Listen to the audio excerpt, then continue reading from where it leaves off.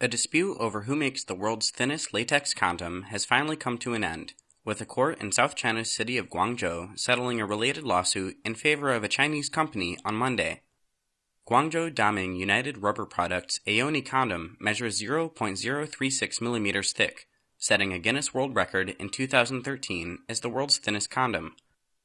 It broke the previous record of 0.038 millimeters set by Japanese company Okamoto.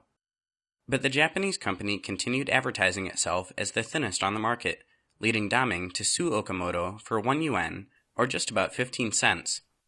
Daming won the suit, forcing Okamoto to stop using such advertisements. The company showed us how their technology and products differ from others on the market. So our product is 0.036 mm.